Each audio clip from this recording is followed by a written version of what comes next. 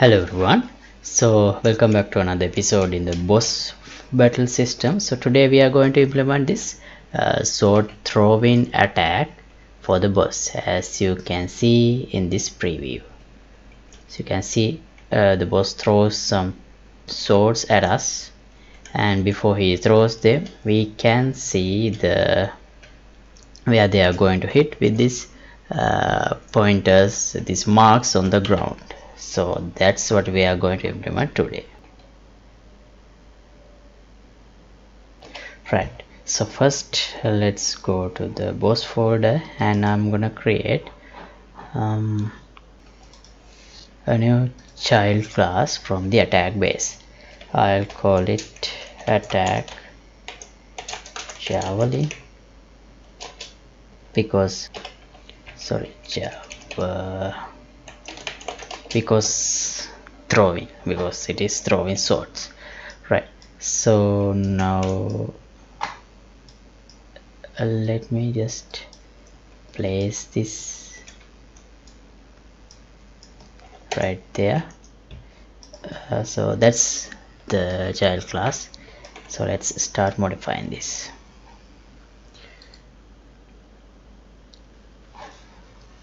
Right uh, so for testing purposes in the begin play I'll call uh, we have this charge event. So I'll call it in the begin play. So that we can make it to the attack automatically. But what it does is like uh, the regular slamming that we have already implemented that's what happens here. So let's uh, override. We don't need to change the fade in part. We can use the same fade in part. Uh, but we can change this launch attack. And we can use the same fade out part as well. So let's override the launch attack part. So let me just copy this the same code that we used for the attack base and paste. So now by doing this we can override the uh, oh no. Let's type launch attack event. Right. Now the parent method parent uh, event of the launch attack will be overridden by the one we have defined here. Okay so in the event tick here we change uh, we actually change only the z component of the rotation of the actor uh, to make the uh, made make the sword uh, always face like this to the player. So let's override this part as well. So here let me remove the parent tick mm, and let's get some space. Here let's set actor rotation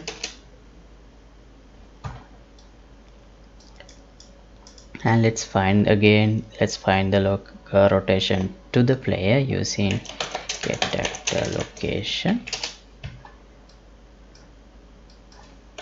Find look at rotation. Start is the location of this actor. Target is the play actor location.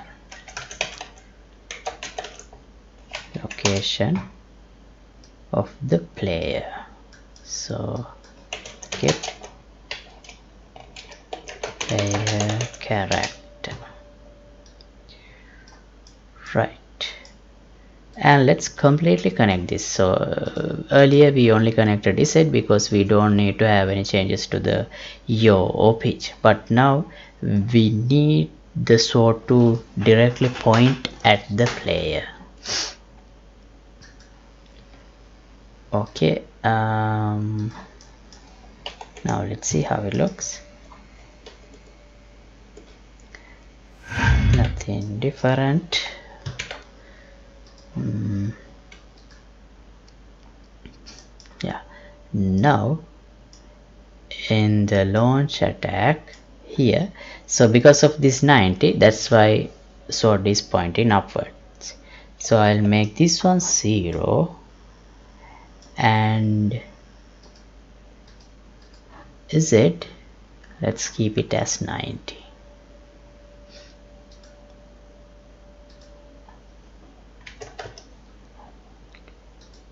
now let's see what happens. The sword should point at us before doing the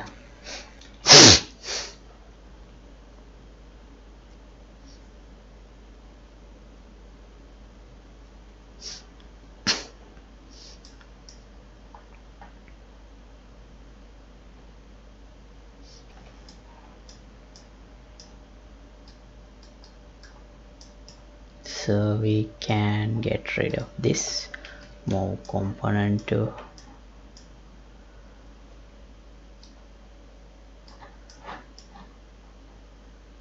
and this one. Uh, uh, no actually uh, we can't get rid of that yet. Let's calculate um, now what we need is we need to throw uh, the sword towards the player. So let's for that we need to actually we can just use the player location but if we do it like that then player will have no chance of avoiding the attack so in order to give a chance let's calculate it like this uh, first let's do a line trace uh, to the player's location with some offset uh, then let's spawn uh, some decal that shows where the sword is going to hit and after a second or so let's do the attack. So in that way player will have a chance to jump away from the target location of the sword. Right. So to calculate the location um,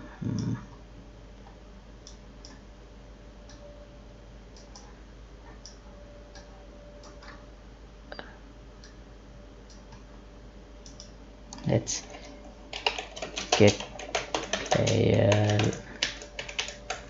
character get actor location. And let's add some offset here. Uh, I'll promote this as a variable. Let's call it offset. Because when we have multiple throwing swords we can have different offsets so that they will be thrown into different places not the same place. Alright. As the default value let's say minus 100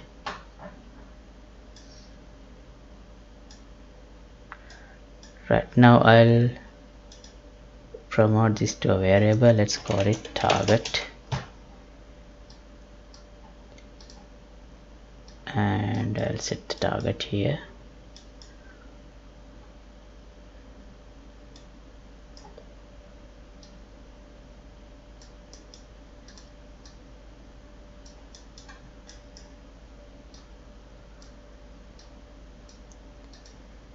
uh, right. Now we need to make sure there are nothing in between this target and the sword. If there is something blocking then of course the sword should stop in that blocking object on that blocking object. So let me collapse this part. Set target.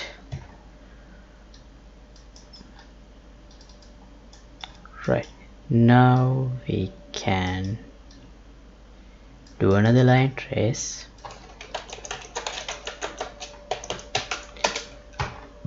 By channel as the starting location. We can use get, get actor location.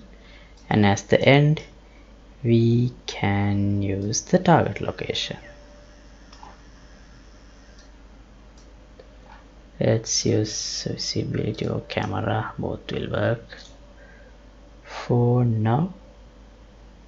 And actors to ignore. I don't need this ray uh, this line trace to be blocked by the player. So let's add player as an actor to ignore. And here if we get a hit.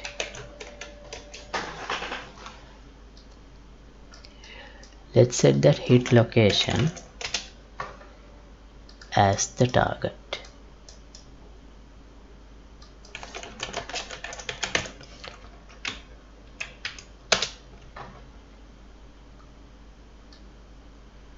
Otherwise we don't need to change the existing the current target uh, because nothing blocking that target location. The line to that target location. And I'll add debug type for duration. Right now the target is set. Let's see if we get a line trace.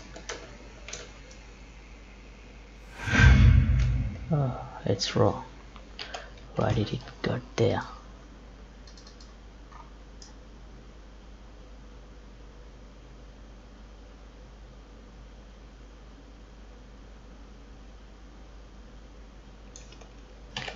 Alright. Uh, actually here let's remove this 600 offset in the, of the sword. Uh, because sword uh, because we are turning pointing towards the player uh, having this offset could be a problem.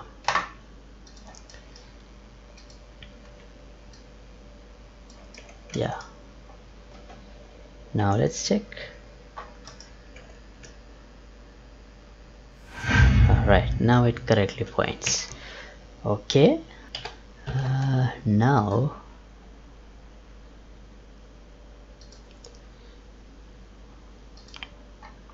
we have the target. Now instead of moving here let me break this. I'm not gonna change the rotation. Uh, as the target relative location. Oh wait. We don't really have to move the ah here we are moving the root okay that's what we need to do. Let's move it to the target and get relative rotation.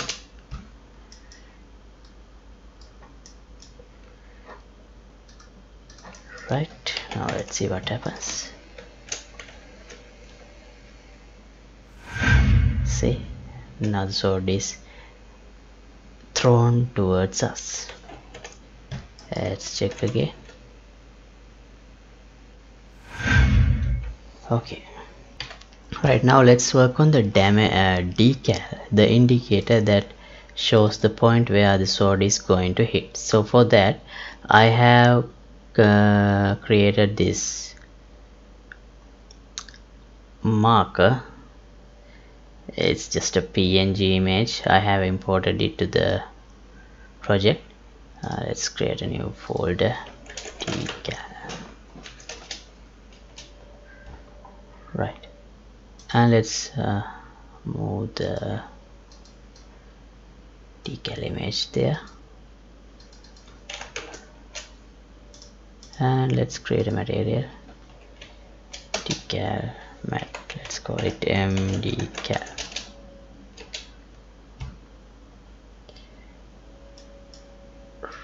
right. Uh, now this should be in the I need to use it with the decal. So change the blend mode to deferred decal.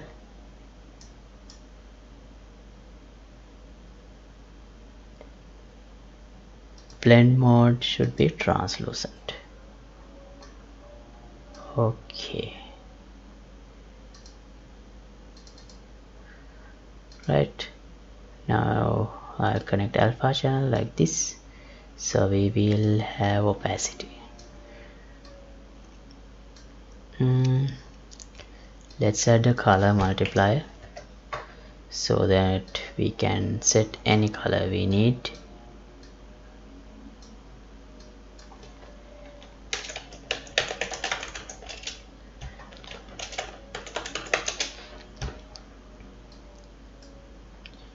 actually it's not necessary to multiply. We can just connect the color directly as well.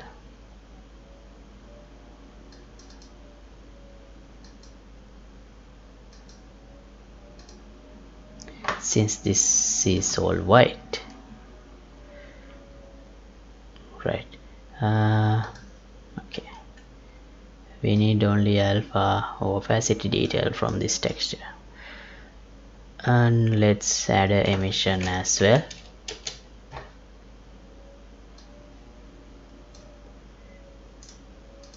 Let's call it emission value let's say 3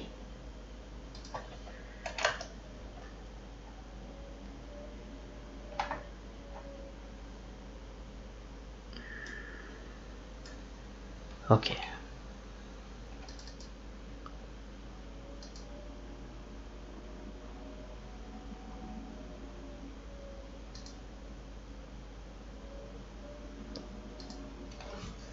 right. And hit apply. Then let's create a decal.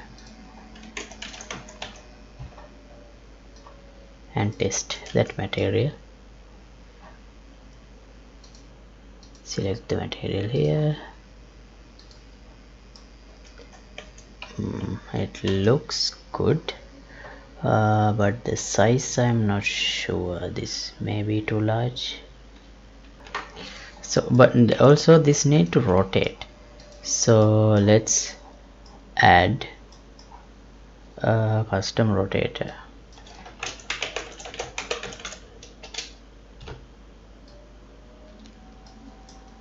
And connect texture coordinate to the UV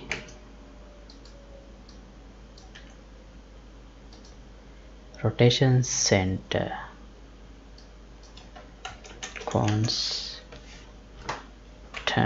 to vector this should rotate around the middle of the texture. So 0.5 by 0.5 should be the pivot. Uh, rotation angle. Uh, let's connect time to this. So that with time we have a variable rotation angle. Let's multiply the time with some multiplier so that we can slow it down. We can control the speed. Let's try 0.5 and connect see? Now it is rotating. And I think this speed is also fine. So let me apply this here alright. And we have a small problem in the edges but that's not really a problem it's fine. Okay. Now we need to dynamically spawn this decal when we before we throw in the sword. So in the set target after the target is set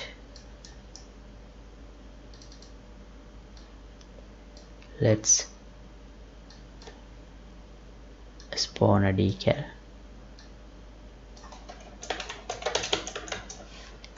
at location. Uh, decal m decal material. Decal size.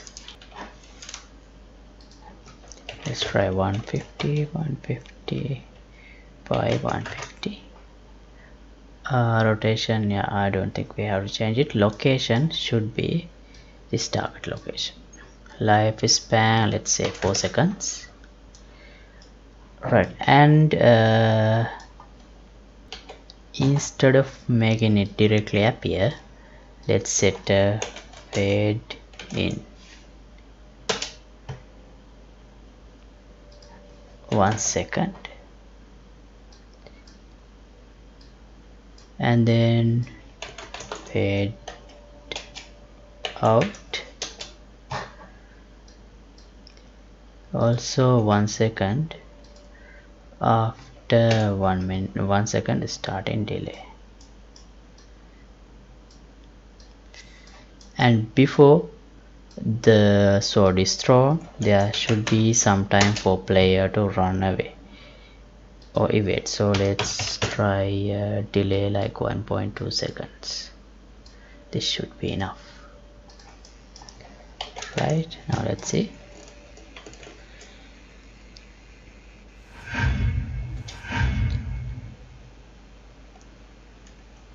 Right. It worked.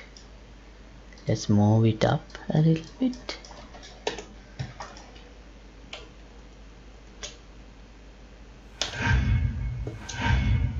okay great. Now let's add this to the boss character instead of making it placed like this.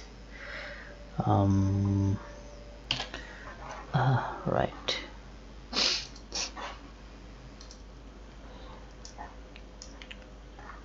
So this is the attack logic. Um, let me collapse this part. This is spawning part of the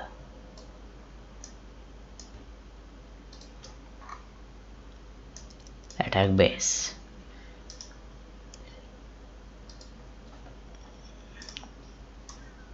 Wait why can't I collapse? Alright.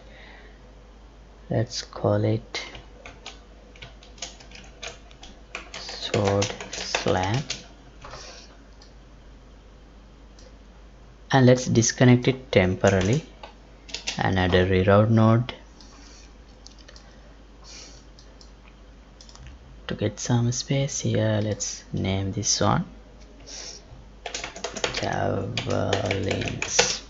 Right.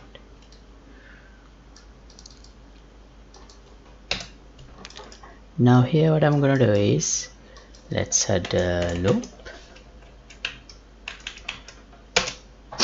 first index let's start with minus 1 and plus 1 so I'm gonna spawn three of the javelin attacks.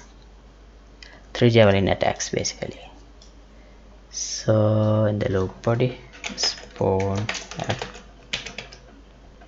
actor from class javelin. Attack javelin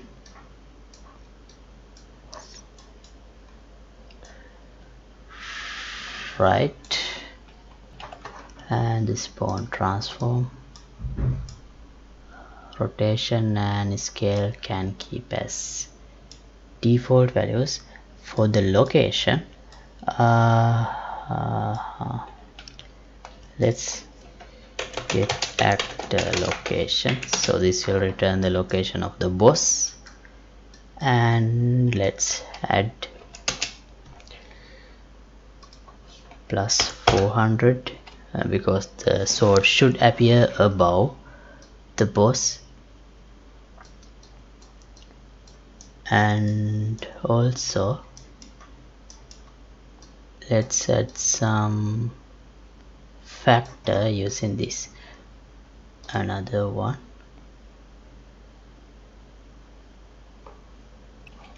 Let's get the right vector multiply this with uh,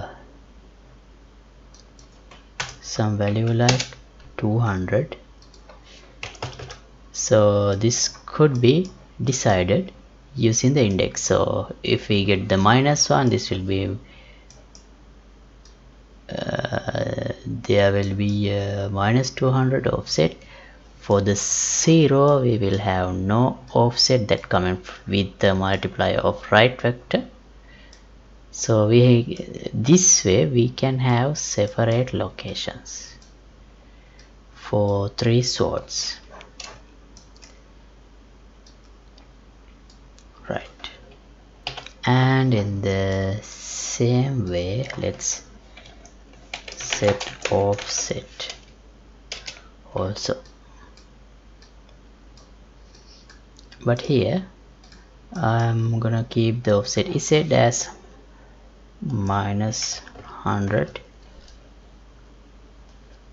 so that it will always end up in the ground uh, at least half of the sword in the ground. And let's connect other two with this multiplier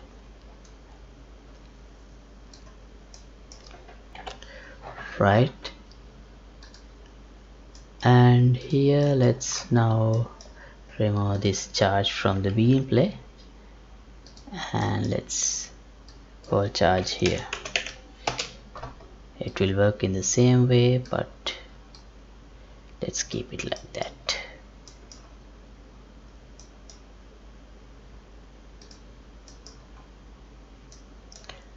Alright shall we see what happens now?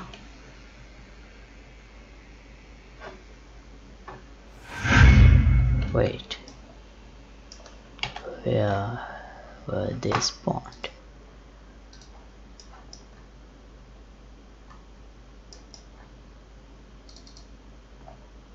uh,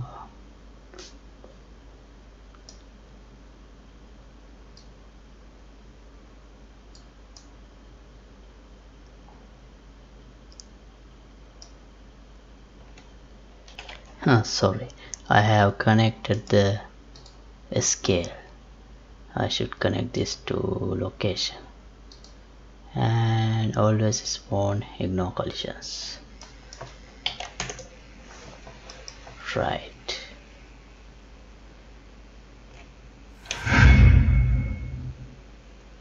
Okay.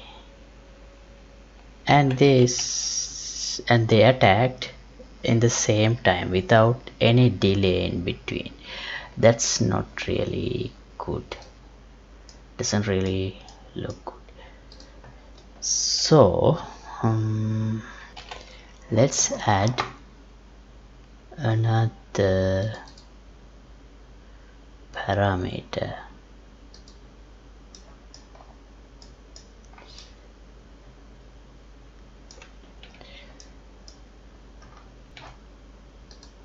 let's make some changes like this. In the uh, where is charge event? Right here.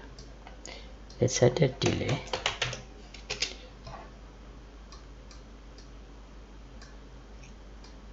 And make it as a parameter. Default value 0 let's call it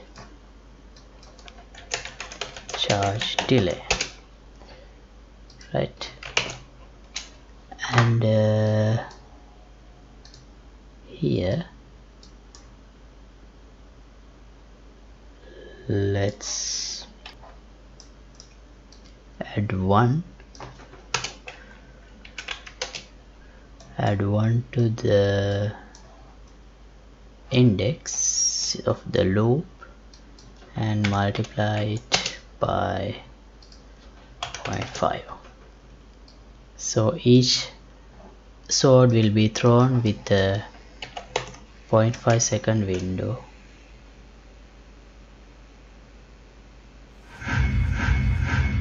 Oh wait.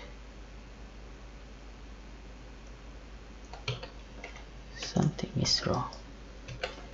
Yeah the default value of the I think I should set this delay before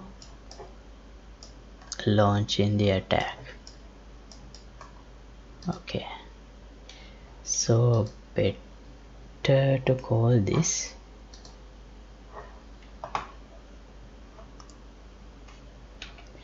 not the charge delay charged delay. So after it is charged um, how much we should wait before launching the attack it. Charged. Delay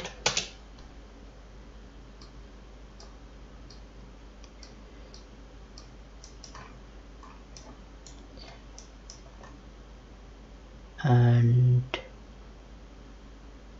the launch attack will here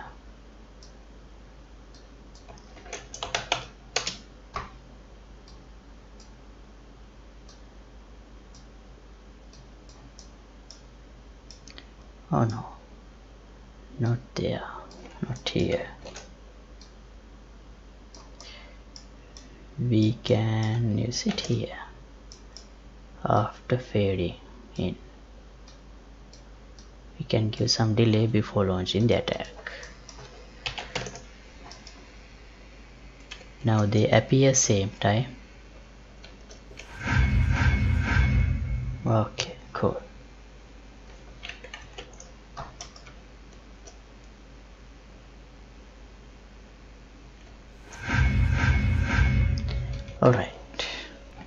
so I'm gonna stop this episode right here. And let's work on another attack type next time in this uh, boss battle series. And as always project files will be available for the download through patreon page. Link would be in the description below. And if you like to support my work you can get the membership of the patreon club. Thanks for watching. See you in another episode. Goodbye